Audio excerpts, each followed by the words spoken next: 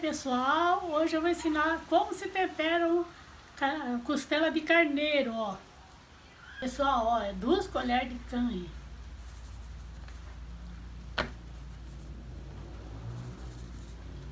Depois eu misturo tudo. Esse aqui é, é, o alecrim, tá? Alecrim você pode pôr pouco. Você pôr muito.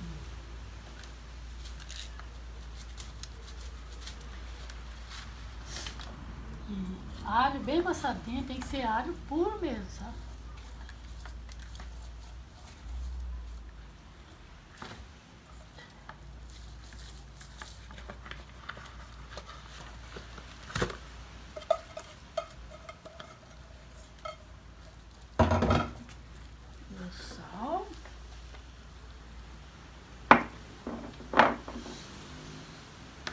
Sal é sal grosso, né? É, sal grosso, viu? Tem que ser o sal grosso.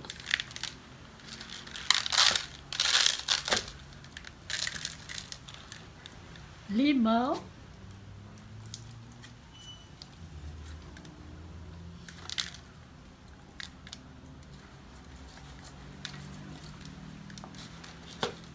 Vai ficar bom, hein? Bem temperadinho. Vou pôr tudo o limão, tem muito limão.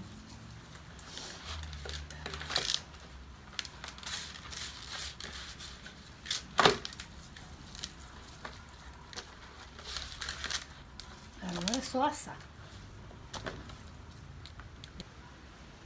Olha aí, ó. Tá bem temperado, não vai vinho.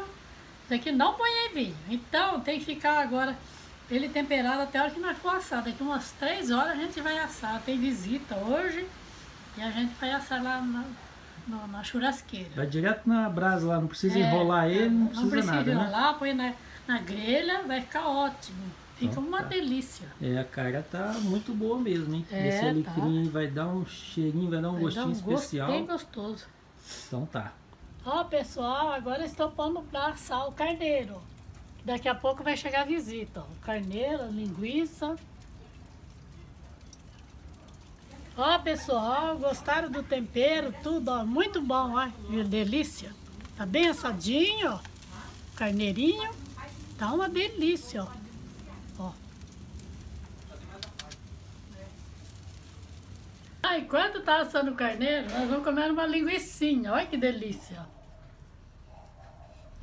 Pessoal, dá uma olhada só.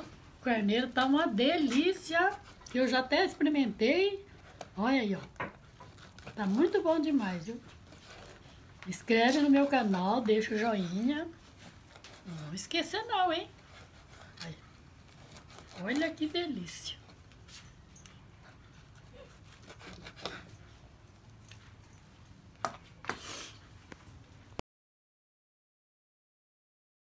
muitos falam que tem polvinho, mas não precisa não. Eu comi, essa semana eu comi a casa do meu filho. Não coloquei vinho. Retardado mesmo. Quando... Eu não coloquei vinho.